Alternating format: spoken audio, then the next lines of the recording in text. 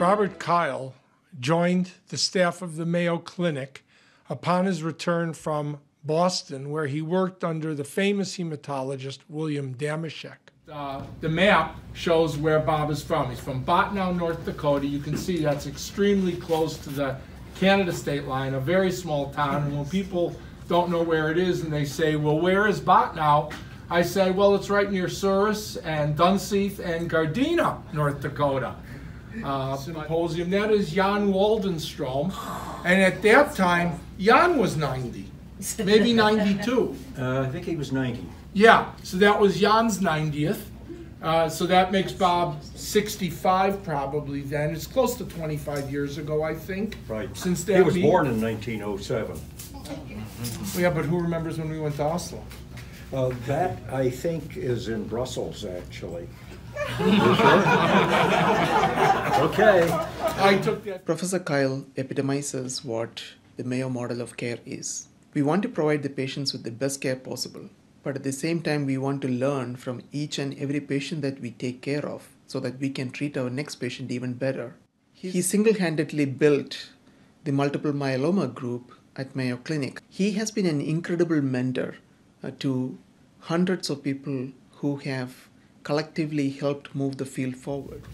Bob went into hematology, if I remember correctly, because his three choices were cardiology, pathology, hematology. Cardiology required that you undergo a cardiac cath yourself. That's true. The And, and then uh, pathology, of course, meant just doing autopsies all day, so you went to the heme lab. Good choice. I knew less about hematology than any other subspecialty. Right. Welcome back to Mayo Clinic Radio. I'm Dr. Tom Shives. And I'm Tracy McCray. You know, Tracy, there are a lot of great doctors at the Mayo Clinic, but there are some who just sort of stand out above the crowd. Like Mayo Clinic hematologist Dr. Robert Kyle. Hematologists deal with blood, blood problems. I think the most important of the cancer doctors. That's just me. For more than six decades, Dr. Kyle has been on the cutting edge of medical research and technology. His colleagues would tell you that he has helped to break new ground in the practice of medicine, especially for patients with a blood cancer called myeloma. And we're privileged to have Dr. Kyle as our guest on Mayo Clinic Radio. What, uh, what's your secret for success? I mean, why have you been so successful, would you say? Well, I think it's uh, mainly uh, a uh, curiosity and wondering uh, how things happen and uh, uh, what is important.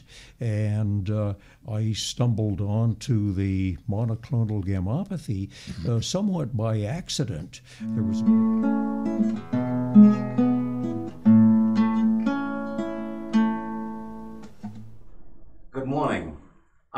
Karl Nath, Editor in Chief of Mayo Clinic Proceedings. According to Merriam Webster, a pioneer is one who originates or helps open up a new line of thought or activity or new method or development in their field. In our series, the featured guest represents one whose contribution in a given field of medicine fundamentally advanced our understanding of a particular disease and our management and its treatment. I am especially delighted to introduce our very first guest in these series, Dr. Robert Kyle. Dr. Kyle is the recipient of the highest individual award bestowed by both the American Society of Hematology and the American Society of Clinical Oncology. Uh, Dr. Kyle, the first time I heard your name was in the early 80s at the University of Minnesota in regards to a paper you wrote on monoclonal gammopathies of undetermined significance.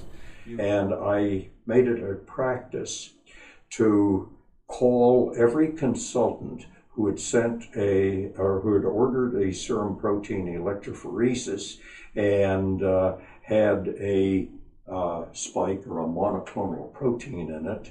Uh, that was recognized by this time. Basically, Karl, it was just very interesting and very fascinating. And by calling the clinician, I learned a lot about the importance of monoclonal mm. gammopathy and so forth. You know, Not only is he one of the greatest researchers in the world with thousands of publications and presentations, he is also a great human being, a great mentor. One thing he has taught me and impressed me the most about was his integrity. He personifies this term. I think there is no one like Dr. Kyle.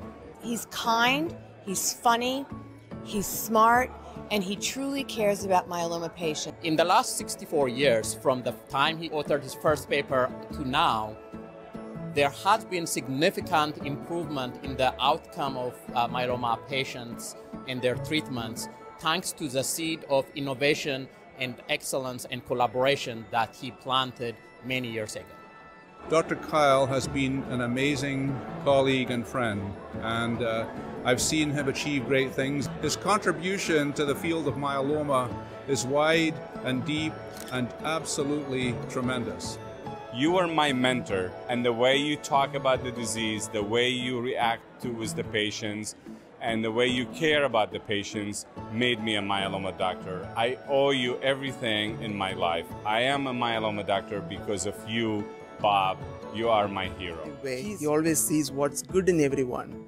And I think he continues to guide all of us, not only just in the way we take care of the patients, but also inspiring us to do better in the research that we do to get to the ultimate goal, which is a cure for the disease. Very rare spirit that has touched every one of us here. So we're here to congratulate you and to many more birthdays. Well, thank you very much. Thank you very much. It's, uh, it's amazing uh, uh, to be at number eight eight today, and uh, and to have come here 63 years ago, actually, as a fellow. I came as a fellow. So uh, I have uh, been privileged to see a fair number of changes over the years. It's uh, almost uh, unbelievable, really, with uh, the two clinical hematology sections at uh, five persons each, total of 10, maybe 11, and now we have, gee, I don't know, what, how many do we have now? Close to 50? 40 some, yeah. No, 55 MDs. 55. Oh, Martha. Just think what you have here now. You're the chair of a huge department. So we thought you needed your own stamp. Really? Since you're a stamp collector Yeah. and you're famous, Oh, my gosh. you Oh. needed your ah. own stamp. Oh, wonderful.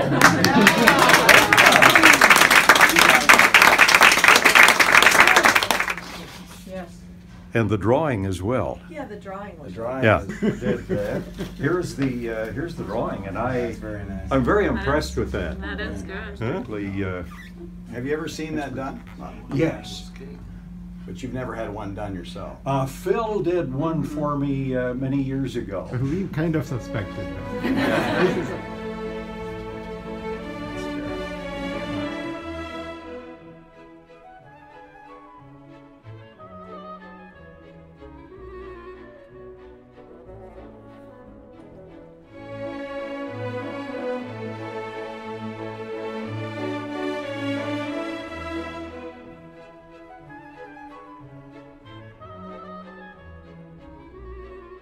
Oh, when was that from, Bob? That probably you were on staff 10 years?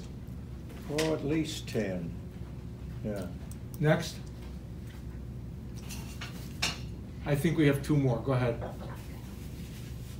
I put them in reverse chronological order. Bob still has that suit. one more, there we go. And that's the one, that's the picture on the cake. So I think that was the last slide. That, I think, was when I joined the staff. Oh, there, that's That your was fellow a- slide. That was a fellow, yeah. Yeah. Yeah. Yeah.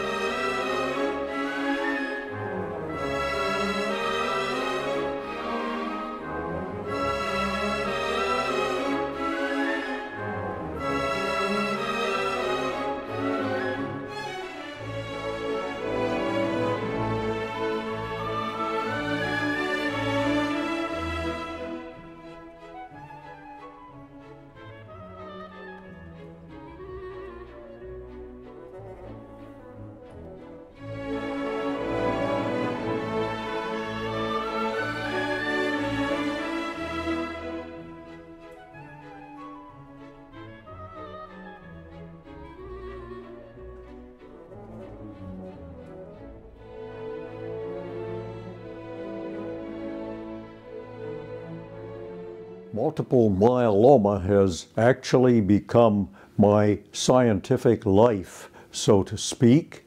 It has allowed me to uh, meet and work with many wonderful persons throughout the years. I find that uh, it has been most interesting and uh, I have enjoyed seeing uh, many patients over the years. In fact, I've made the statement that patients with multiple myeloma have taught me everything that I know. It's been a very fulfilling life.